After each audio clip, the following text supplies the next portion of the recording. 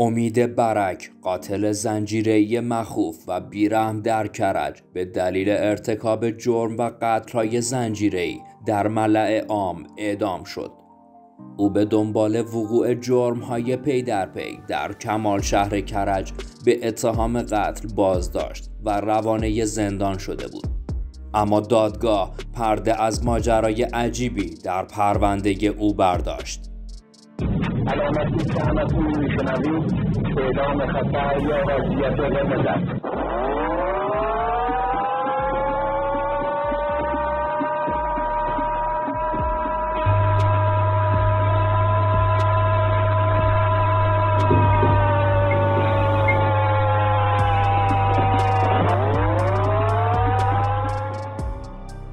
به گیرنده هاتون دست نزنید و این برنامه از آژیر قرمز را دنبال کنید. قبل از ادامه از زیر همین ویدیو و از طریق دکمه subscribe عضو کانال آژیر قرمز شوید و برای اطلاع از آخرین ویدیوهای ما روی زنگوله کلیک کنید. در این برنامه به قاتل زنجیره بیرحم زنان جوان در کمال شهر کرج می‌پردازیم.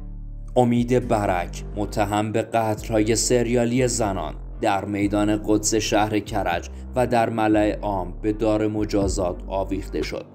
و این در حالی بود که وی ساعتی قبل از اعدام ادعاهای عجیبی را مطرح کرده بود.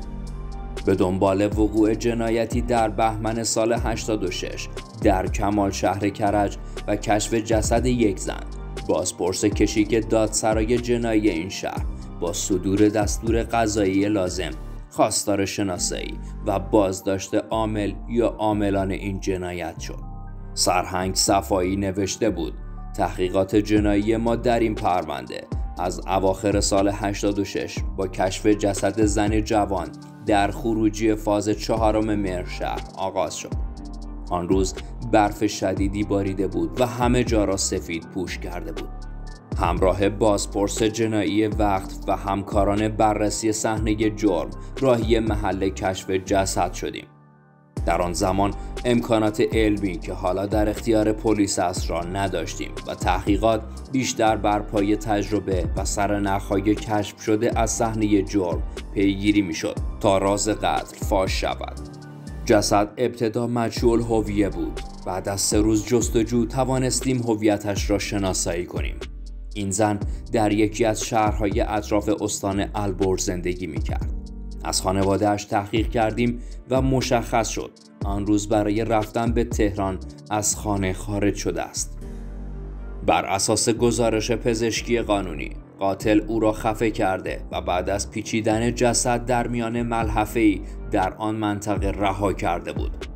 در حال تحقیق روی این پرونده بودیم که جسد زن دیگری سمت کمال شهر پیدا شد که هویت او مشخص بود.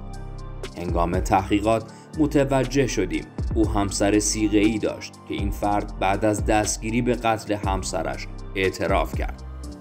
یکی از راههایی که برای سنجش صحت اعترافات متهم به قتل استفاده می شود بازسازی صحنه قتل است. بعد از اعترافات همسر سیغه مقتول از او خواستیم صحنه جنایت را بازسازی کند. اما صحبتهای او با کشفیات ما در صحنه قتل یکی نبود و همین باعث شد اعترافات او از سمت ما و قاضی پرونده مورد قبول قرار نگیرد.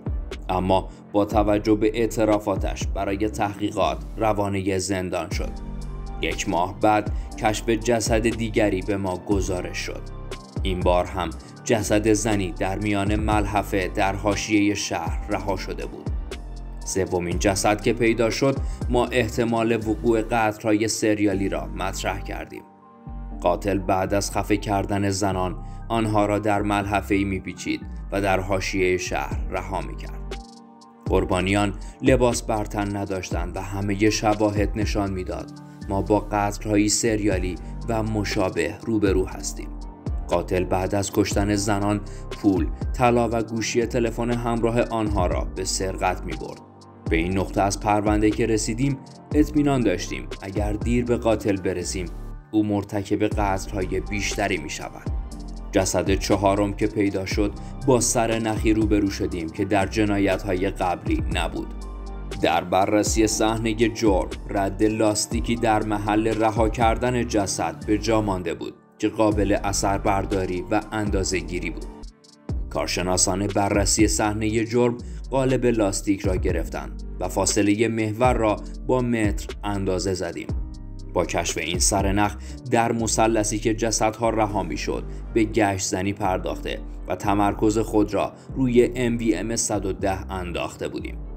از سوی دیگر ساکنان این مثلث که احتمال قتل از سوی آنها وجود داشت را هم شناسایی و احضار کردیم. اما با همه اقدامات پلیسی نتیجه به دست نیامد. بررسی های ما ادامه داشت تا اینکه جسد پنجمین زن هم کشف شد. در این جنایت هم رد لاستیکی پیدا شد که از آن هم نمونه گیری شد. تحقیقات ادامه داشت تا اینکه در شاخه ای از تحقیقات متوجه تماس یکی از قربانیان قبل از مرگ با تلفنی شدیم و با ردیابی روی این تماس به زنی رسیدیم. بررسی ها نشان داد این زن یک دستگاه خودروی پیکان به نامش ثبت شده است. تحقیقات درباره این زن یکی از مسیرهای ما برای کشف راز قتل بود. نکته عجیبی که در جریان تحقیقات روی این شاخه با اون روبرو شدیم آدرسی بود که او و همسرش به نام امید در اسناد از خود ثبت کرده بودند. آنها در نشانی هایی که بعد مشخص شد جعلی بوده به پلاک پنجاه اشاره کرده بودند و در تمام آنها پلاک خانه پنجاه بود. این شک ما را قوی تر کرد. به دنبال آنها بودیم و در کنارش احتمالات دیگر را هم بررسی می کردیم.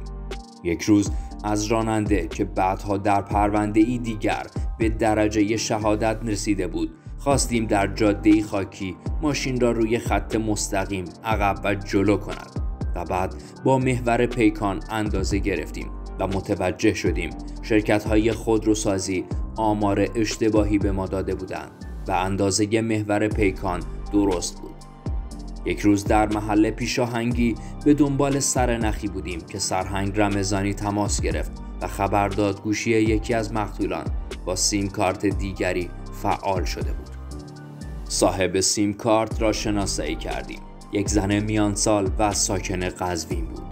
بررسی خانواده این زن به خصوص فرزندانش ما را به سر نخی رساند که با تمرکز روی آن به قاتل رسیدیم. این زن پسری به نام امید داشت. امید همسر همان زنی بود که با ردیابی تماس یکی از مقتولان به او رسیده بودیم. فعال بودن گوشی یکی از مقتولان در دست مادر امید رد پای همسر او در ماجرای یکی از قتل را داشتن خودروی پیکان و نشانی های جلی او نقاط طلاقی این پرونده برای دست داشتن امید در قتل را بود. نهایتا این متهم در مخفیگاه خود واقع در یکی از استانها شناسایی و با اعزام اکیپی ویژه به محل مورد نظر. روز چهارشنبه 19 تیر سال 87 بازداشت شد.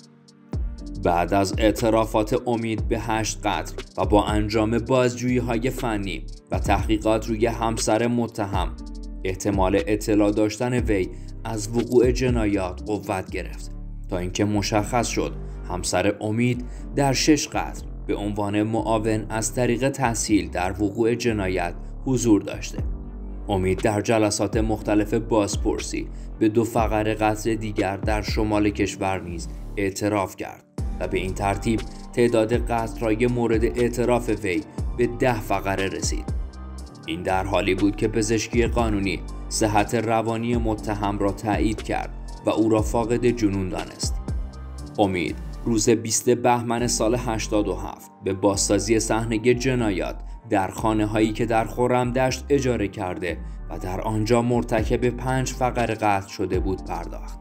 نهایتا بامداد دوشنبه چهارم بهمن سال 89 با گذشته حدود چهار سال از وقوع نخستین جنایات تناب دار برگردن قاتل سریالی زنان در میدان قدس شهر کرج بوسه زد و به این ترتیب یکی دیگه از پرونده های مربوط به جنایات سریالی در کشور مخدومه شد. دوستان عزیز ممنونیم که تا آخر این ویدیو با ما همراه بودید و با لایک کردن و گذاشتن کامنت از ما حمایت می‌کنید. اگر می‌خواید از آخرین ویدیوهای ما با خبر بشید ما رو سابسکرایب کنید و زنگوله کنارش رو هم بزنید.